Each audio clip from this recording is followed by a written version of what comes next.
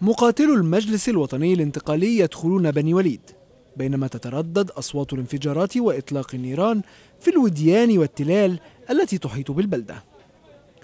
قوات المجلس الانتقالي تواجه مقاومة شرسة من المتحصنين داخل البلدة الصحراوية من أنصار العقيد الليبي معمر القذافي.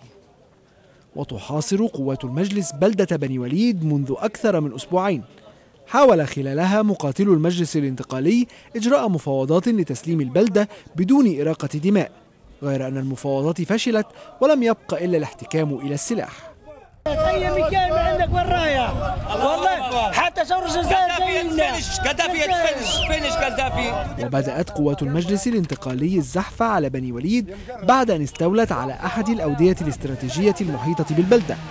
ويقول الثوار إن المؤيدين للقذافي هم من بدأ بالقتال. بعد أن قصفوا مصنعا كان يتحصن فيه مقاتلو المجلس.